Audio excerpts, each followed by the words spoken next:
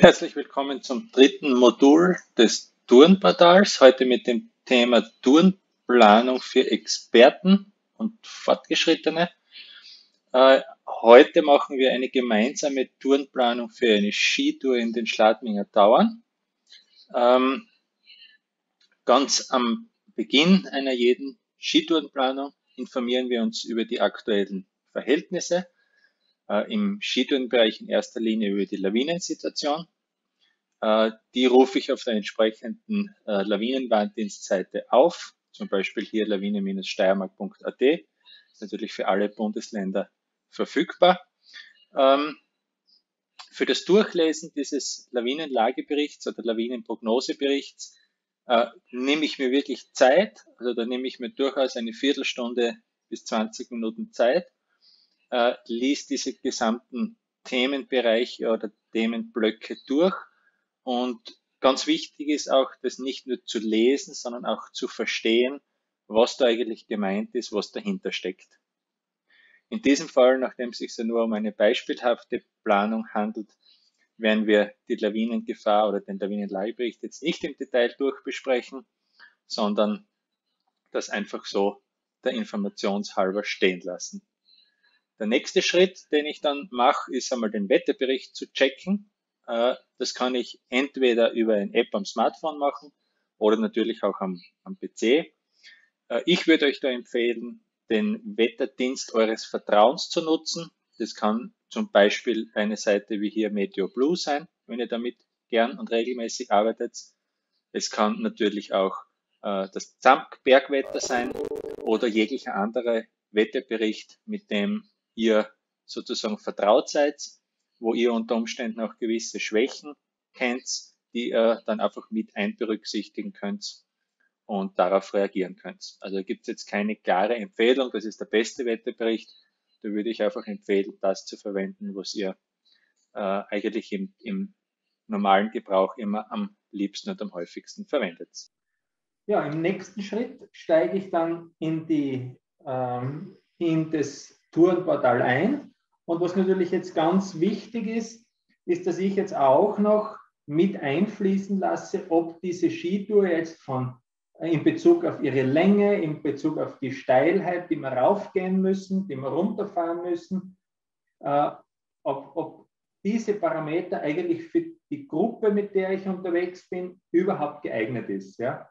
Sprich, wenn ich, äh, wenn ich Kolleginnen oder Kollegen mit habe, die zum Beispiel jetzt nicht steiler als 30 Grad abfahren, dann macht es wahrscheinlich auch wenig Sinn, eine Skitour im extrem steilen Gelände zu planen, weil erstens haben sie dann keinen Spaß, ihr habt auch keinen Spaß.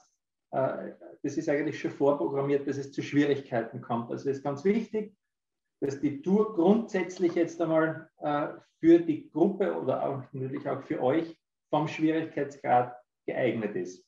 Wir nehmen das jetzt in diesem Beispiel auch an, dass die Gruppe oder die Tourgeher, die diese Tour jetzt vorhaben, dafür auch das technische und konditionelle Können und die konditionelle Ausdauer haben, um diese definitiv lange Skitour auch zu machen.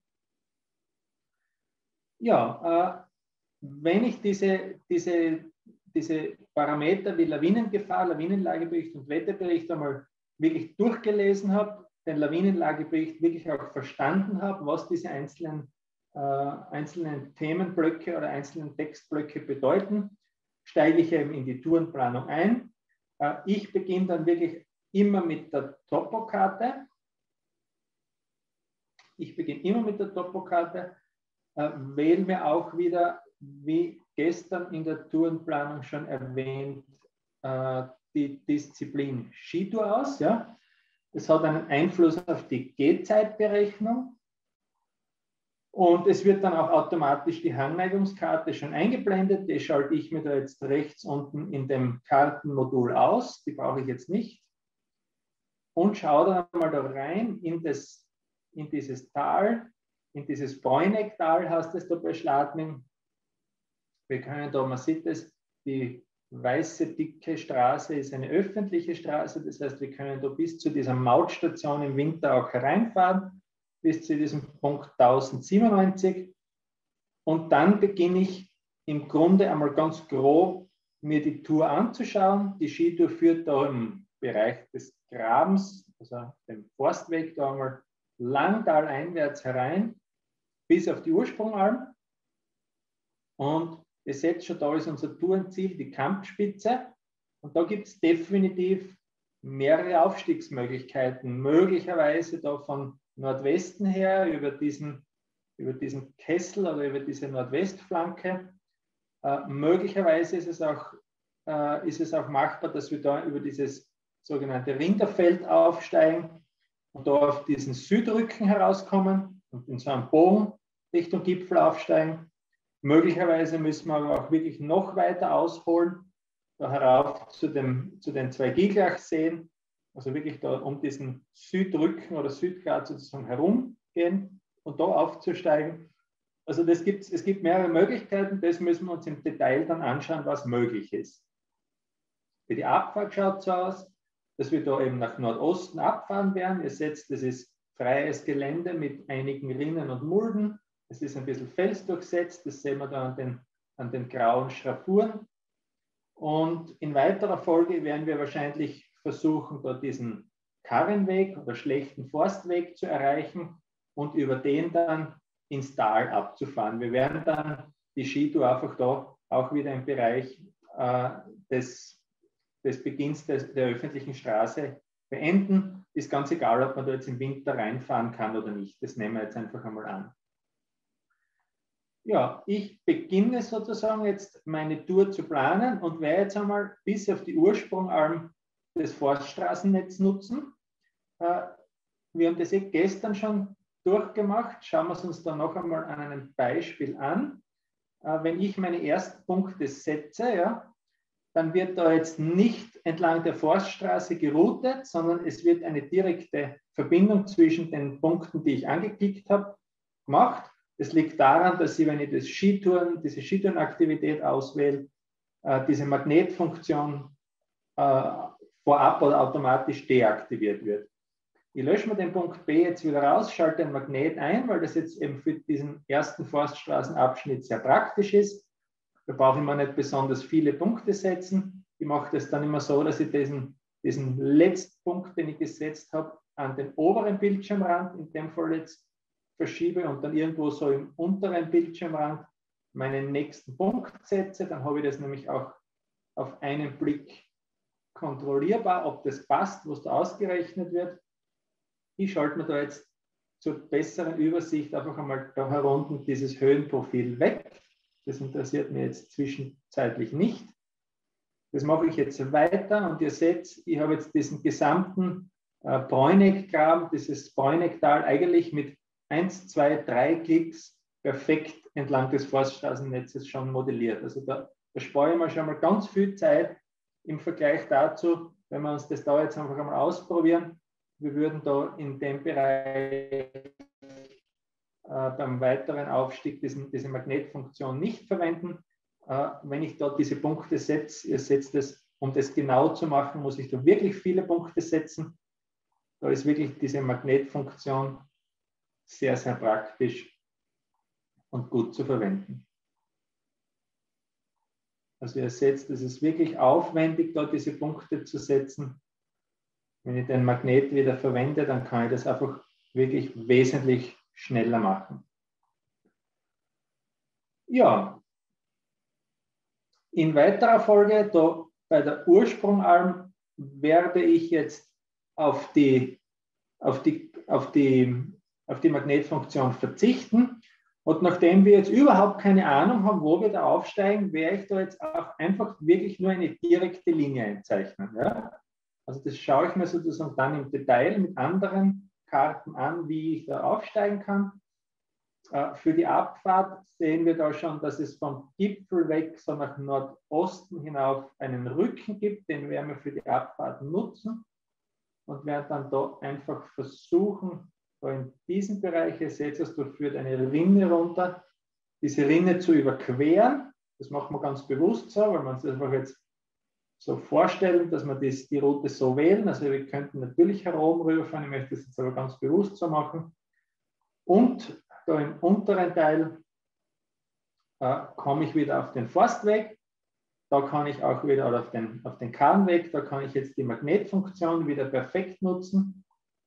Und da ganz im unteren Teil werden wir es uns auch noch anschauen, ob wir dann da über den Forstweg herausfahren oder ob wir da im Gelände runterfahren können. Auch da verwende ich jetzt einmal einfach die direkte Linie. Ja, somit habe ich jetzt eigentlich einmal meine Route ganz grob vorgegeben. Ganz grob. Das heißt, ich habe in gewissen Schlüsselstellen, wo ich jetzt eigentlich noch keine ausreichende Geländeinformation habe, noch überhaupt keine Routenwahl sozusagen gemacht. Das mache ich jetzt im zweiten Schritt. Jetzt korrigiere ich sozusagen diese zwei Bereiche, da ganz am Beginn und ganz am Ende der Tour, äh, wo ich noch zusätzliche Informationen einholen möchte.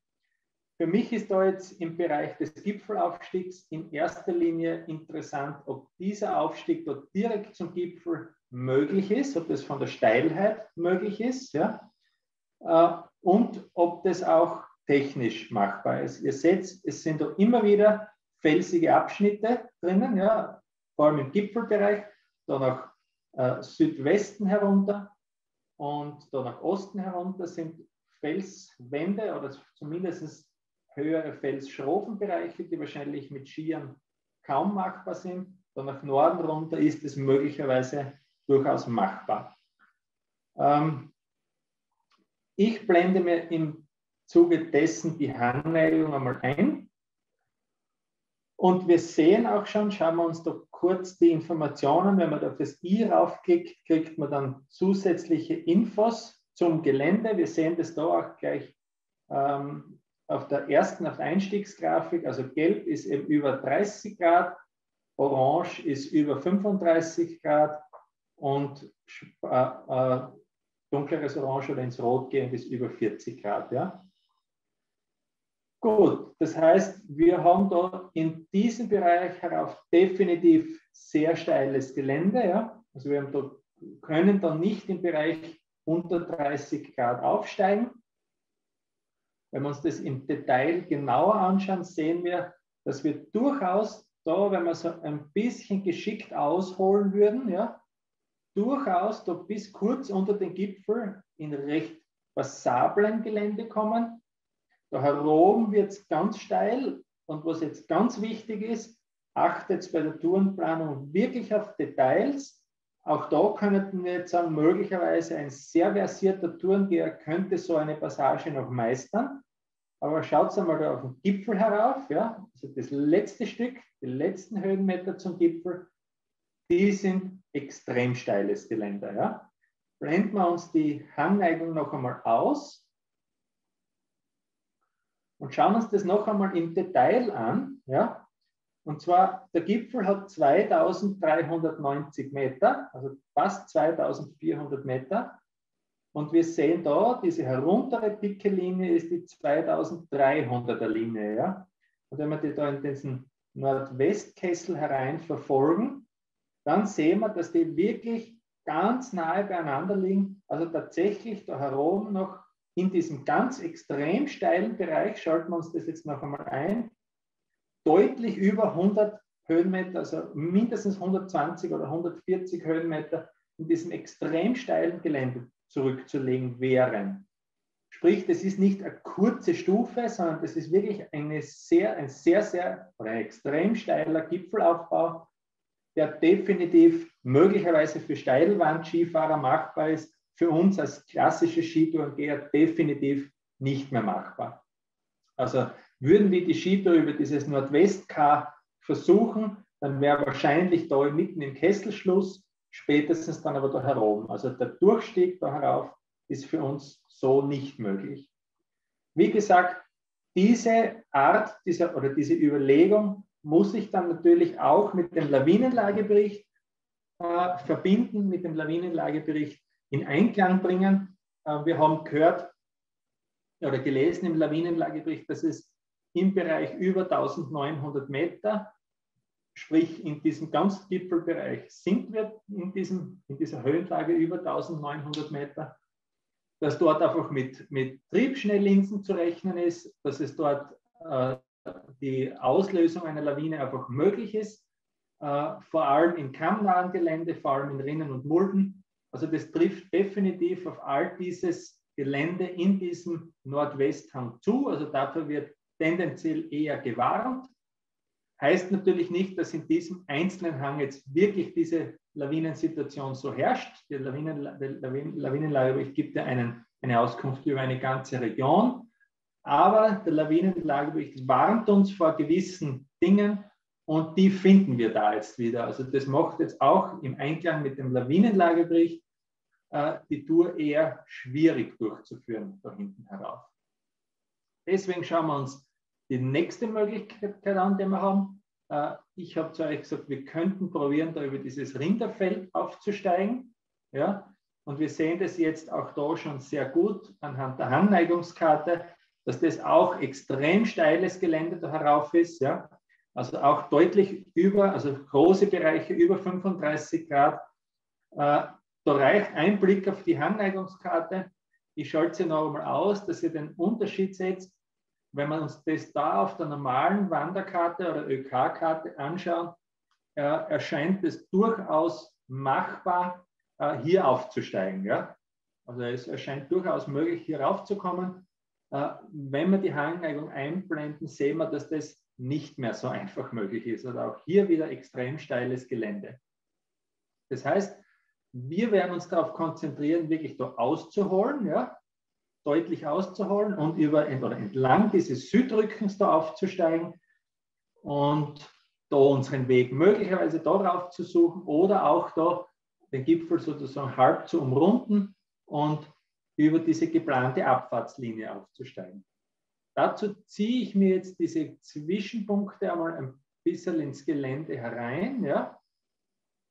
Ich steige da entlang, da gibt es auch so einen Kahnweg im Sommer durch dieses Hochtal darauf auf. Im oberen Bereich werden wir dann noch genauer uns das anschauen, weil wir da auch steilere Bereiche sehen. Ja, und da steigen wir dann einmal einfach über den Südrücken ein Stück auf. Dann schauen wir uns da den Gipfelbereich noch an. Auch da sehen wir von den Höhenschichtlinien alleine schon. Es ist sehr zerrissenes Gelände, also wir haben viele Kuppen, sehr stark kubiertes und strukturiertes Gelände. Ja. Wir hätten zwar bis zum Gipfel einen sehr ausgeprägten Rücken oder Grat, ja, also der wäre eigentlich gut ausgeprägt, aber der ist spätestens da im obersten Teil definitiv felsdurchsetzt. Um da jetzt noch ein besseres Bild von dem Gelände zu kriegen, schalte ich dann gerne auf Satellitenbild um. Dauert einen kurzen Augenblick. Und wenn wir dann da im Detail reinschauen, so, Entschuldigung, jetzt passt es wieder, dann können wir da schon erkennen, dass das definitiv äh, felsdurchsetztes Gelände ist. Ja? Äh, sehr stark kupiert. Sehen wir da auch gut an den Höhenschichtlinien, die sind ein bisschen genauer wie in der ÖK. Also der Aufstieg über diesen, über diesen Rücken da im Gipfelbereich ist wahrscheinlich, da sehen wir es auch im Detail noch, dass da einfach viele Felsschrofen drinnen sind. Schwierig möglich. Das heißt, wir schalten wieder in die ÖK zurück. Wir werden unsere Skitour tatsächlich äh, über den Nordostrücken ziehen. Ja? Dazu wähle ich jetzt einfach einmal den Wanderweg da heraus. Wir queren zum Wanderweg und entlang des Wanderweges steigen wir auf. So einmal die Grobplanung. Ja? Dann schauen wir da in den unteren Teil, den wir, noch, ähm, den wir auch noch nicht geplant haben. Da müssen wir uns jetzt folgende Frage stellen. Jetzt haben wir einen Punkt zu viel gesetzt folgende Frage stellen. Macht es Sinn, da im unteren Teil über diesen Wanderweg abzufahren? Ist da genug Schnee? Habt ihr heuer wahrscheinlich alle, die unterwegs waren, eh schon festgestellt. In den Schladminger Dauern ist wenig Schnee. Entschuldigung, jetzt wollte ich eigentlich die Hangneigung einblenden. Wenn wir uns das da anschauen, haben wir da auch entlang des Wanderweges eine Steilstufe drinnen. Äh, entlang des Forstweges fahren wir zwar oder queren wir zwar steile Hänge, äh, aber auf einem Forstweg. Äh, das können wir uns dann durchaus auch vor Ort anschauen. Planen wir die Skitour mal so, dass wir dort diese Steilstufe entlang des Wanderwegs vielleicht noch am Forstweg umfahren und vermeiden und dann aber dort durchaus äh, ins Gelände herunterstechen sozusagen und den, den Wanderweg. Der Ton ist fort. Hat sonst auch noch jemand ein Tonproblem? Nein. Alles gut. Ich verstehe dich gut. Das ist perfekt. Dann, lieber Ernst, liegt an deinem PC oder Tablet. Gut, ähm, schauen wir weiter. Der nächste Schritt, den ich mir anschauen möchte, äh, oder die nächste, nächste Stufe der Tourenplanung ist, dass ich mir wirklich diese Tour von Beginn an noch einmal durchschaue und entsprechend anpasse. Ja? Das heißt, äh, ich werde jetzt hin und her wechseln zwischen Hangneigung in Verbindung mit der Topokarte und dem Satellitenbild und werde mir ein bisschen versuchen, ein Bild über das Gelände da links und rechts zu machen. Ja? Äh, und zwar mache ich das so, dass ich mir vorstelle, diese blaue Linie, also unsere geplante Tour jetzt wirklich zu gehen, ja, und wirklich für jeden Abschnitt zu überlegen, wie schaut das Gelände in der Natur draußen aus, in dem ich mich bewege, und wie schaut das Gelände, in dem Fall jetzt im Graben, links und rechts ober mir aus, beziehungsweise in weiterer Folge dann rund um mich. Wie schaut das Gelände rund um mich aus? Ja, wenn wir da äh, uns vorstellen, wir gehen da in, diesen, in dieses Bräunigtal hinein, ja, dann sehen wir da durchaus schon gut, wir haben links und rechts sehr steile bis extrem steile Hänge. Ja. Es ist da definitiv nicht auszuschließen, dass grundsätzlich da Lawinen sich spontan lösen könnten. Ja.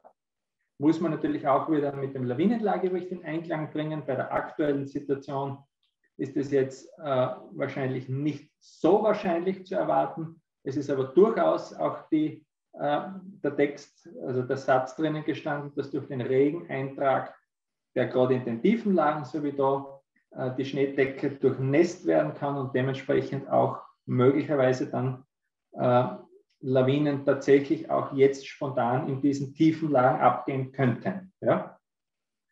um jetzt sozusagen ein bisschen ein besseres Bild zu kriegen, wie gefährdet ist, dieses, ist dieser Graben da rein, schalte ich dann gerne äh, die Hangneigung einmal aus. Dann schauen wir uns das kurz an. Wir sehen auf der ÖK grundsätzlich, dass das links und rechts bewaldetes Gebiet ist. Ja? Wir haben links und rechts bewaldetes Gebiet. Wir sehen aber auch schon, dass es da in diesem Bereich des Waldes definitiv so Schneisen oder Schläge gibt. Solche Schneisen und Schläge entstehen eigentlich ausschließlich durch Lawinenabgänge. Sprich, dieses, dieser Bereich da oben wird sich wahrscheinlich regelmäßig entladen. Deswegen ist der Wald einfach zurückgedrängt. Äh, Im Detail kann ich mir das dann noch mit, der, äh, mit dem Satelliten- oder Luftbild anschauen. Und da sehen wir zum Beispiel schon sehr gut, ja, da ganz im ersten Bereich auch, das sind definitiv Bereiche, wo es oben große Hangzonen gibt, die dann einfach wirklich komplett freies Gelände, da sehen wir, da sind ein paar Stauden und Latschen und so zeigt werden, aber das ist definitiv kein schützender Wald, so wie das zum Beispiel da in dem Bereich jetzt wäre. Ja. Also man sieht da definitiv zwei große Lawinengänge, die einmal runtergehen. Ähm, wie kann ich damit jetzt umgehen? äh, weil das natürlich jetzt auch ein bisschen provokant wäre zu sagen, na gut, wenn ich das da äh, 300 Meter nach dem Parkplatz schon habe, dann kann ich da eh nicht reingehen, das ist sowieso zu gefährlich. So, so weit würde ich jetzt auch nicht gehen. Äh, ich würde aber durchaus so weit gehen, dass ich einfach sage, okay, ich habe dann gleich einmal am Beginn, da jetzt im Aufstiegssinne rechts, einfach Lawineneinflussbereiche, ja, äh, und ich habe das schon, ich habe diese Gefahr sozusagen in der Tourenplanung bereits erkannt. Werden wir dann, wenn ich da herauskomme in dieses freie Gelände, das einmal anschauen, sind da schon Lawinen abgegangen? Äh, liegt da überhaupt noch Schnee drinnen? Vielleicht ist das ja auch schon äh. Äh, sehen wir da Windzeichen? Wie, wie stark war der Regeneintrag? Also ich bereite mich einfach vor, was könnte mich da erwarten? Ja? ich sage nicht per se, das ist jetzt eine Gefahrenstelle, da muss ich jetzt umdrehen. Äh, also ich bereite mich vor, es wird da beim, beim Hereingehen in dieses Bräunigtal immer wieder Lawinenstriche geben, äh, die vor allem von der Westseite hereinkommen, also im Aufstiegssinne von rechts herkommen. Vor allem da ganz am Beginn zwei große. Je weiter wir da ins Tal hineinkommen, desto besser wird es eigentlich. Da haben wir eigentlich überall ziemlich durchgehenden Wald. Ja. Also es gibt da zwar schon Schläge, die sind aber definitiv nicht so groß äh, wie diese Einflussbereiche da zuvor. Also diese Überlegung stelle ich da einmal beim Hereingehen in dieses Bräunigtal an und überlege mir dementsprechend sozusagen ähm, Umgehungs- oder ja, Alternativmöglichkeiten. Eine Alternativmöglichkeit, die wir definitiv hätten, wäre, dass es da auf der Ostseite auch noch einmal einen Forstweg herein gibt. Ja? Wenn wir uns das in Erinnerung rufen, diese Lawinenstriche, da waren, die waren im vorderen Bereich. Also da ist es durchaus möglich, dass wir ein bisschen weiter östlich auf der anderen Talseite sozusagen ausholen und über diesen Forstweg den, den Graben sozusagen betreten oder die Tour so beginnen. Ja, in weiterer Folge kommen wir dann da weiter nach hinten. Wir schauen uns da auch wieder jetzt grundsätzlich die gleiche Thematik an. Auch da erkennen wir zum Beispiel schon einen Bach, der herunterfließt, äh, mit einem Wasserfall sogar drinnen. Das heißt, das ist sicher auch kein flaches Gelände. Auch so ein Kessel könnte sich möglicherweise wirklich bis auf unsere Route herunter entladen. Auch da schauen wir uns das jetzt wieder im Detail an. Da sehen wir aber durchaus, dass das, ähm, dass das bewaldetes Gebiet ist, äh, sprich ganz große Lawinen werden da nicht äh, durch runterkommen, sonst würde da nicht äh, der Bewuchs äh, sozusagen gut wachsen, ja, weil das, die, die Lawinen doch regelmäßig sozusagen äh, in so ganz extrem steilen Lawinenstrichen abgehen und die Vegetation dann zerstören und den Nachwuchs verhindern. Ja, in, im weiteren Bereich kommen wir dann, dann schon in diesen, in diesen hinteren Teil. Ja. Auch da sehen wir, da gibt es oben große Hangsysteme. Äh, es gibt dann zwar einen sehr lichten Wald, wenn wir im Detail reinzoomen, äh, sehen wir, dass da wirklich dazwischen große, freie Bereiche herunter sind, äh, wo Lawinen möglicherweise bis da ganz runter abgehen könnten. Sprich, wir haben das dann auch im hinteren Teil unseres, unseres Bräunektals noch einmal zu beachten. Ähm, da ganz hinten im Bereich der Moorhofalm haben wir dann wirklich links und rechts dichten Wald und dichten Bewuchs. Also da ist mit großen äh, spontanen Lawinen, die bis ins Tal auf unsere Route abgehen, sicher bei der aktuellen Lawinensituation nicht zu rechnen. Also wenn, dann sind das ganz kleine Rutsche von einer Forst Forststraßenböschung aber große Sachen sind da sicher nicht zu erwarten.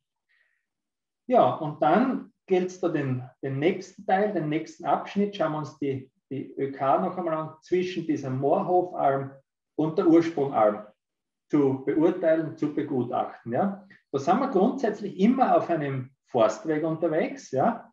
Wir sehen aber auch schon da in diesem Bereich, ja, da führt dieser Forstweg definitiv durch sehr steiles Gelände. Sprich, gehtechnisch wird es kein Problem sein, wir gehen eh am Forstweg, aber die Böschungskanten und möglicherweise dieser Hang da ober uns, ihr seht auch, das ist felsdurchsetztes Gelände, der ist möglicherweise kritisch zu beurteilen. Ja? Auch da benutze ich dann wieder das äh, Luftbild, schauen wir das an Uh, ihr seht, das ist ein bisschen schwierig zu erkennen, vor allem für euch jetzt, uh, weil diese, uh, die, die Farbwiedergabe über das Zoom leider nicht so gut ist. Ich vermute, dass ihr da jetzt nur einen schwarzen Fleck seht. schaut es euch selber zu Hause dann in Ruhe zum Beispiel an. ich, ich sehe das jetzt ein bisschen besser. Also es gibt da durchaus durchgängige Vegetation. Ja. Erst da herum wird es dann so licht, dass man eigentlich so Latschenzonen sehen. In dem Bereich haben wir eigentlich dichten Wald, sprich auch da ist jetzt die Windgeschwindigkeit, die den Triebschnee sozusagen einblasst, sicher etwas reduziert im Vergleich zu freiem Gelände. Äh, und auch Äh, große zusammenhängende Hangsysteme liegen da nicht vor. Ja? Gut, schauen wir uns den nächsten Teil. Dann geht es eigentlich da recht entspannt bis auf die Ursprungalm herauf. Ja?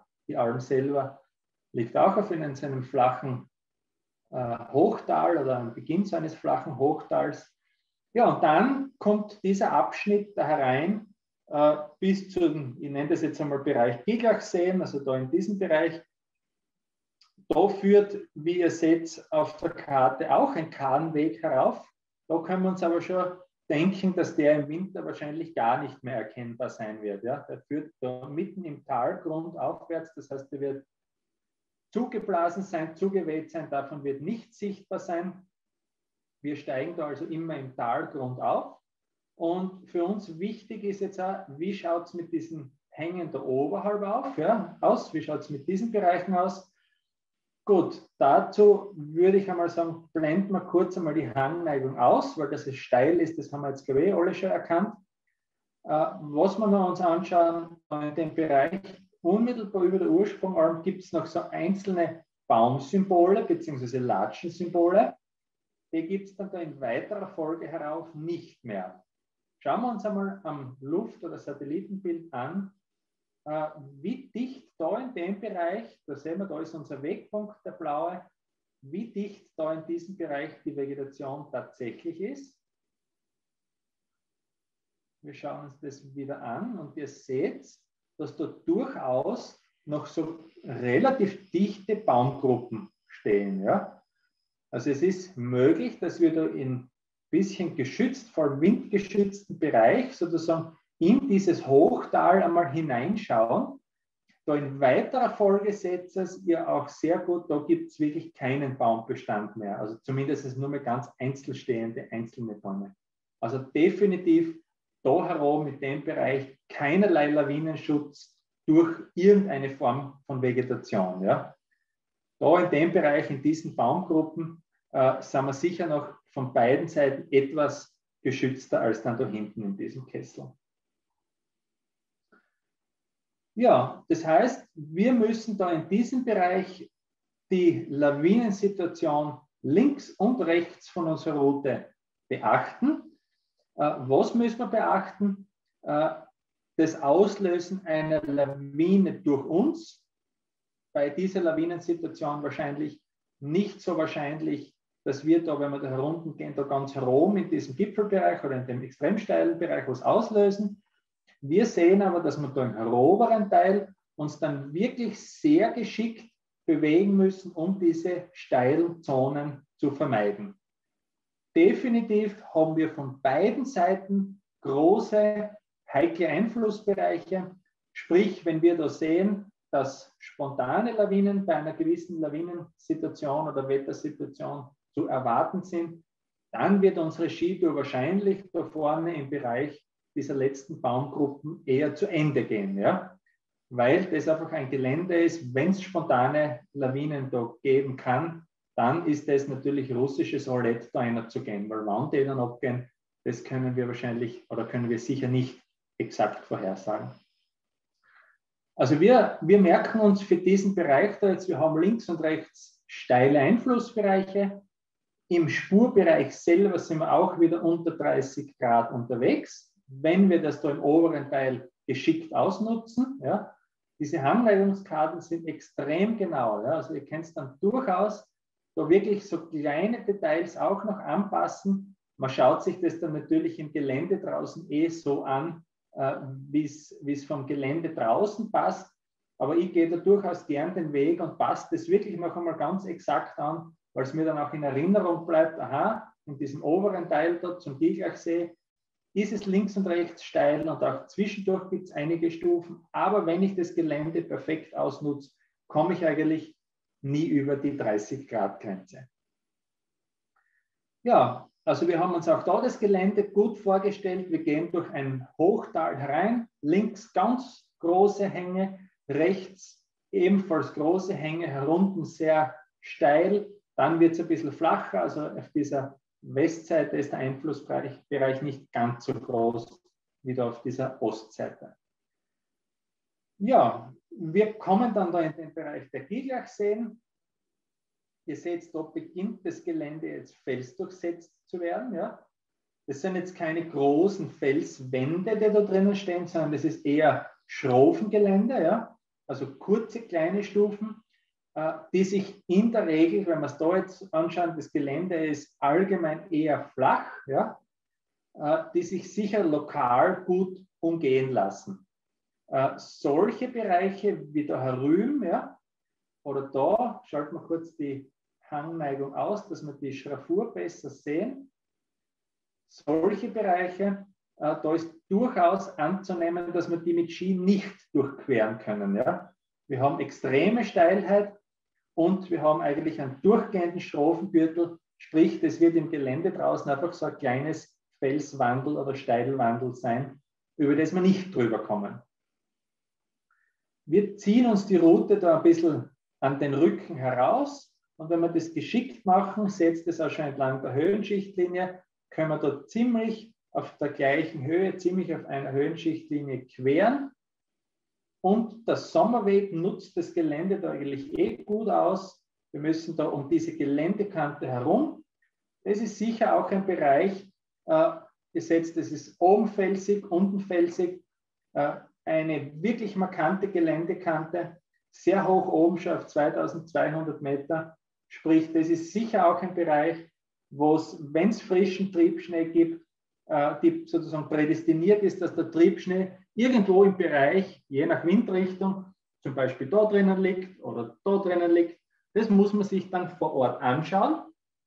Was wir uns durchaus merken können oder mitnehmen können, äh, ist, dass wir im Zweifel durchaus da sozusagen weiter links ausholen können und da herum äh, über, diese, über diese Schulter äh, in flacherem Gelände eine Alternative haben. Da müssen wir zwar auf der Rückseite wieder ein paar Meter absteigen oder mit den Fällen runterrutschen, aber es ist durchaus eine gute Alternativmöglichkeit.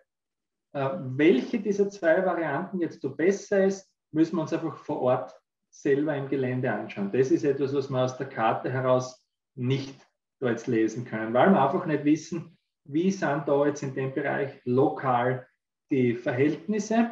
Aber wir merken uns, wir haben da in diesem Bereich zwei Varianten, die wir machen können. Ja, es geht dann zu dem See herüber und auch da sehen wir, da gibt es einfach steilere, aber sehr lokale Bereiche. Sprich, das werden kurze Steilstufen sein. Wenn man ganz genau schaut, kämen wir auch wieder irgendwo im Bereich unter 30 Grad durch. Sprich, wenn man geht sich. Wir könnten natürlich auch etwas weiter ausholen. Äh, da verlieren wir gerade mal 20 Höhenmeter, das ist jetzt nicht die Welt. Äh, und die Route sozusagen ein bisschen weiter ausholen lassen. Da oben seht ihr es auch schon, da haben wir ein bisschen zu direkt gezeichnet, da holen wir auch noch etwas weiter aus. Und da sehen wir jetzt tatsächlich auch, äh, dass bis zum Gipfel rauf, entlang dieses Nordostrückens, äh, flacheres Gelände, also unter 30 Grad führt.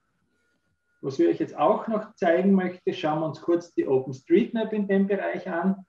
Da sehen wir nämlich, dass tatsächlich da auf diese Kampfspitze auch ein Steig heraufführt. Ja? Der ist in der ÖK gar nicht verzeichnet, da sehen wir den gar nicht. In der OpenStreetMap, die durchaus äh, oft das Wegenetz noch vollständiger drinnen hat, äh, sehen wir, dass es da durchaus im Sommer einen Wanderweg gibt. Ja, die Abfahrt entlang äh, des Nordostrückens ist, glaube ich, klar, dass wir das sozusagen über diesen Nordostrücken beginnen.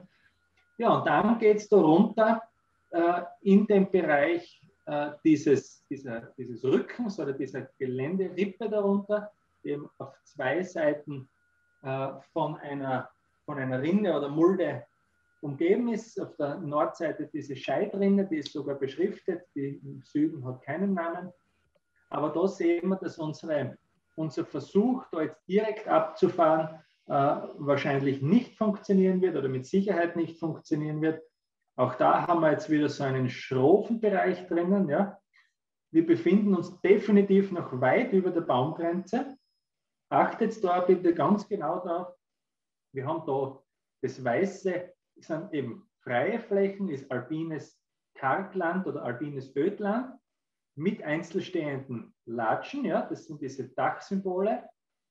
Diese grüne Fläche da herunten, ja, die grüne Fläche symbolisiert grundsätzlich zwar Wald und Bewuchs, Aufpassen muss man aber eine grüne Fläche mit so Dächern oder diesen Baumsymbolen. Das ist ein Latschen- oder Erlenfeld. Ja? Sprich, auch da haben wir jetzt, oder sind wir nicht im Wald unterwegs. Gerade im Winter, wenn viel Schnee liegt, ist das für uns, weil die Latschen zugeschneit sind, ganz gleiches Gelände wie da herum das freie, die freie Fläche. Schauen wir uns das am Satellitenbild oder Luftbild auch noch einmal an. Ja, da sehen wir das ganz deutlich. Da herum in dem Bereich ist halt hauptsächlich Wiese, Schotter und ein paar einzelne Latschen und da herunten werden die Latschen dann mehr. Aber definitiv ist es kein Waldbereich. Aber ihr habt es vielleicht eh schon gesehen, es gibt möglicherweise da in dem Bereich eine, eine Chance durchzukommen. Ziehen wir uns die Route einfach einmal daher.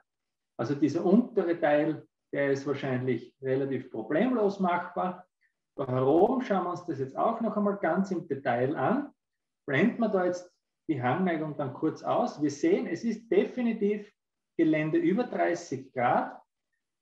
Aber wenn wir die Hangneigung ausblenden und uns die Höhenschichtlinien anschauen, dann sehen wir durchaus, dass da eigentlich ein sehr ausgeprägter Rücken herunterführt. Ja?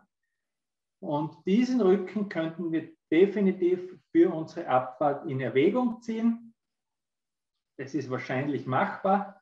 Äh, Wenn es nicht machbar ist, würde ich das für mich so beurteilen, dass ich sage, na gut, ich fahre mal bis daher und schaue mir das an, weil ich wirklich da jetzt runterfahren möchte. Andernfalls steige ich da noch einmal diese 100 Höhenmeter auf, das ist jetzt nicht so weit und kann das Gelände dann umfahren auch. Aber wir versuchen das da so herunterzufahren. Wir haben die Überlegung angestellt, auf dem Rücken zu bleiben, auf dem Rücken abzufahren äh, und damit auch den flachsten Geländebereich sozusagen auszunutzen. Ja, der nächste Schritt, also das schauen wir uns auch noch kurz an, Entschuldigung, das habe ich jetzt übersehen.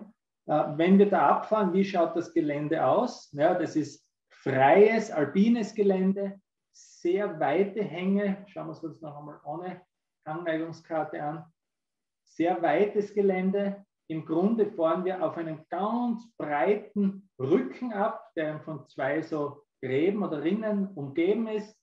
Äh, dieser breite Rücken ist aber, wenn wir uns da die Höhenschichtenlinien anschauen, definitiv aber auch nicht ein großer Rücken, sondern auch da gibt es lokal kleine äh, Rinnen, Mulden, äh, Rippen und so weiter und so fort. Also das wird einfach so weitläufiges alpines äh, Ödland sein. Also sicher schön zum Skifahren und sicher auch immer wieder, man sieht es da ja auch schon durch diese Felsschraffuren, immer wieder auch Gelände fallen, äh, vor allem im Bereich der, dieser Felsen, kurze Steilstufen, äh, die man definitiv draußen dann beachten muss und entsprechend darauf reagieren muss. Also das ist sicher ein Gelände, das bei schönem Wetter und guter Sicht traumhaft zu begehen ist, mit dem man irrsinnig gut spielen kann, äh, mit dem man irrsinnig gut arbeiten kann. Bei Nebel können wir uns wahrscheinlich alle vorstellen, ist das Gelände eine ziemliche Katastrophe. Also da ist es sicher nicht möglich, mit diesem Gelände vernünftig zu navigieren. Ja, den herunteren Teil schauen wir uns auch noch an. Auch da sehen wir schon wieder entlang dieses Karrenwegs, der durch diese strichpunktierte Linie ähm, äh, dargestellt ist. Da sehen wir, dass wir einfach steile Bereiche haben. Ja. Wir werden da auch uns versuchen, entlang dieses Weges zu orientieren. Ja. Also das ist sicher der, äh, die, die Referenz für uns. Äh, in weiterer Folge da herunter schauen wir uns das da vor allem noch an. Wie schaut da das Gelände aus? Was ist da ober uns? Was ist unter uns? Auch da blende ich wieder kurz die Hangneigungskarte aus. Ihr seht es auch schon da von diesem Rücken da oder diesem Grat da herunter, der da zur Viertelhöhe rausgeht, gibt es definitiv freie Hänge, das sehen wir sogar da auf der ÖK-Karte schon, die da durch runtergehen. Äh, wahrscheinlich auch Lawinenstriche, wenn wir uns das so anschauen, dass die da mitten im Wald so einzelne, einzelne freie Zonen sind. Das ist eigentlich schon äh, anzunehmen. Schauen wir uns das auf dem Luftbild auch noch an. Ja, da erkennen wir auf jeden Fall, dass da so wie da überhalb oder oberhalb unseres, äh, unserer Route, unserer, unserer Forststraße da in dem Fall, definitiv freie Hänge sind. Sprich, wir müssen uns, wenn wir diese Abfahrt so herein wählen, sicher sein, dass diese Hänge dann auch für uns beurteilbar sind äh, und mit hoher Wahrscheinlichkeit auch eine Befahrung möglich ist. Ja. Wir sind da aber definitiv auch schon wieder in tieferen Lagen, als wir uns schon äh, im Laufe unserer Tour sozusagen bewegt haben. Also wir haben sehr viele Möglichkeiten da beim Aufstieg auch schon gehabt, äh, diese, äh, diese Höhenlage und diese Exposition, die, wir, die uns da beim, äh, auf die wir da bei der Abfahrt treffen, da im Bereich des Knappenkreuzes, dass man über diese Art der Hänge jetzt im Laufe der Tour schon einen, einen, einen, eine Übersicht verschaffen, ein Bild verschaffen, wie ist die Schneesituation da. Und dann würde ich sagen, ist es durchaus zumutbar, dass man im Bereich äh, da herum, wo man sozusagen entscheiden müssten, ob man jetzt über die Aufstiegsroute wieder abfahren, dass man da durchaus schon eine gute Abschätzung machen können, wie schaut es da in dem Bereich aus. Relevant ist für uns da definitiv äh, spontane Lawinengefahr, sprich, wenn sich da herum in diesem Steilgelände etwas löst, äh, trifft es definitiv unsere Aufstiegsroute äh, oder unsere Abfahrtsroute, Entschuldigung. Was man natürlich auch sagen muss, äh, wenn wir uns diesen Bereich anschauen, äh, wir sind, wenn wir da in der Abfahrt sind, diesen, dieser Gefahrenzone dieses Kessels da nicht allzu lange ausgesetzt. Ja? Also wir fahren da einmal durch rüber. Das heißt, wir sind deutlich kürzer diesem Bereich ausgesetzt, wie zum Beispiel dort dieser äh, dieser Steilstufe direkt unter unseres Gipfels entlang dieses Hochtals. Da sind wir wahrscheinlich eine Stunde unterwegs, da nur ein paar Minuten. Sprich jetzt bei einer äh, Lawinengefahr mit spontanen Lawinen, vor allem jetzt äh, eines tageszeitlichen Verlaufs, ja, das heißt am Nachmittag wird es einfach gefährlicher, hätte man da sicher den Vorteil, dass wir durch, den, durch die nordseitige Exposition einfach weniger Sonneneinstrahlung haben, sprich die Schneedecke wird da, da durch die Erwärmung weniger stark geschwächt und wir queren eigentlich deutlich unter dem Hang äh, entlang des Forstweges einmal rüber. Also sprich, wenn jetzt keine großen äh, Lawinen spontan von oben zu erwarten sind, äh, dann ist es durchaus äh, sehr wahrscheinlich, diese Passage gut meistern zu können. Ja? Also da hätte man sicher schon wesentlich heiklere Stellen entlang der Tour äh, hinter uns gebracht. Äh, was wir natürlich immer noch machen können, äh, wenn wir da auf diesem Rücken herum sind, dass wir da auf jeden Fall in dieses Gelände da hereinschauen. Da sehen wir nämlich relativ gut rein, ja, zumindest in diesen oberen Teil, wo dieser Forstweg sozusagen in diesen Kessel hinein abbiegt. Und wenn wir da erkennen, dass das wirklich ganz heikel ausschaut, dann besteht da immer noch die Möglichkeit, entlang dieses Weges wieder zurück aufzusteigen das ist jetzt zwar von der Strecke relativ weit, aber es sind eigentlich auch nur ein bisschen über 100 Höhenmeter, die wir dort zurücklaufen müssen. Also auch das wäre jetzt noch eine Fluchtmöglichkeit, die wir hätten. Schauen wir uns das ganz kurz noch an. Also in diesem Bereich darauf hätten wir definitiv äh, weniger Einflussbereiche. Es gibt zwar da auch steile Bereiche, aber die sind dann schon wirklich deutlich over der Spur und deutlich weiter entfernt. Also diese Fluchtmöglichkeit besteht auch noch. Ja, äh, stellen wir uns das Gelände kurz vor. Wie schaut es aus? Na gut, wir queren dann da auf diesen Forstweg herüber, ja, äh, befinden uns dann sozusagen in seinem Latschengürtel. Äh, dieser Forstweg quert dann oder traversiert dann den Hang entlang um so einen Rücken herum und dann gilt es eben, diesen großen Kessel zu einem langgezogenen Bogen zu durchfahren. Ja? Also wir queren einen großen Kessel. Äh, sobald wir dann diesen Kessel sozusagen fertig durchquert haben, sind wir da wieder vom Rücken heraus, definitiv auf, einem gutmütigeren Gelände. Und fahren dann da entweder in direkter Linie, da gibt es einen Schlag, das ist, das ist eine weiße Fläche, ein Schlag runter, oder fahren diese eine Forststraßenkehre aus, das ist ganz egal. Und da im herunteren Bereich, eben wie auch schon angesprochen, gibt es die Möglichkeit, dass wir da äh, entlang des Sommerwegs runterfahren. Da merken wir uns, dass wir bei der Einfahrt einfach links von uns eine Steilstufe haben, äh, sprich in dieser Forststraßenkehre bleiben wir noch am Weg und holen dann einfach da ein bisschen nach raus und fahren dann einfach in diesen, in diesen Graben darunter. Äh, alternativ, äh, wahrscheinlich haben wir da skitechnisch nicht gar so viel davon.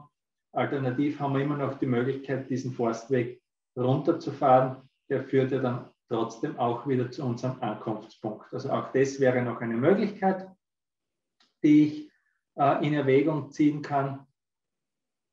Und als Alternativvariante sozusagen ähm, in Erwägung ziehen kann. Ja, äh, gehen wir es nochmal ganz kurz durch. Das mache ich dann für mich auch immer wieder, dass ich mir einfach diese Gefahrenstellen, die wir jetzt erkannt haben, äh, in Erinnerung rufe äh, und äh, mir auch ganz kurz diese Überlegungen noch einmal in Erinnerung rufe, die wir angestellt haben. Ich persönlich mache das so, dass ich mir das nicht aufschreibe, weil ich das Gefühl habe, wenn ich das jetzt wirklich noch einmal gut durchgehe und mir noch einmal anschaue, dann ist es so im Gehirn eingebrannt, dann brauche ich das draußen nicht. Mich verwirrt dann so eine Mitschrift oft mehr, als sie mir draußen hilft. Ja. Äh, sprechen wir es einfach durch. Gut, wir starten da entlang des Forstwegs, müssen dann im Bereich rechts von uns, sprich äh, äh, westlich von uns, also im Aufstiegssinne rechts, einige, zumindest zwei große Lawinenstriche queren. Da sehen wir aber gut rein, das schauen wir uns an, wie die Situation ausschaut. Eventuell weichen wir auf die drübere Grabenseite aus. Zumindest werden wir unter diesen Bereichen nicht unbedingt eine längere Pause machen. Die werden wir einfach zügig queren. Dann geht es eigentlich relativ lang äh, in gutmütig Gelände rein bis zu dieser Moorhofalm. Äh, nach der Moorhofalm kommt dann diese äh, Dreifachkehre da im oberen Teil, wo wir uns in Erinnerung rufen, da gibt es eine felsige Stufe direkt ober der Straße. Auch da müssen wir uns anschauen, wie frei ist das Gelände tatsächlich, wie viel Wind kommt dort rein, äh, wie viel Neuschnee ist da möglicherweise drinnen, äh, welche Triebschneezeichen sehen wir da. Also das war dieser Bereich. Dann haben wir äh, einen ganz großen Bereich da zwischen knapp oberhalb der Ursprungalm und den, der Giglachseehütte oder dem oberen Giglachsee, wo wir einfach von beiden Seiten ganz große Einflussbereiche haben, äh, die vor allem in Bezug auf spontane Lawinen oder Lawinen, die durch andere Skifahrer ausgelöst werden, äh, heikel sind. Also Lawinen, die von weiter oben kommen, nicht unbedingt jetzt in unserem Spurbereich. Unser Spurbereich ist eigentlich immer unter 30 Grad, wenn wir die Spur geschickt wählen. Ja, äh, da herauf Rücken. Wir erinnern uns, da gibt es so Felsstufen, so Schroffenstufen.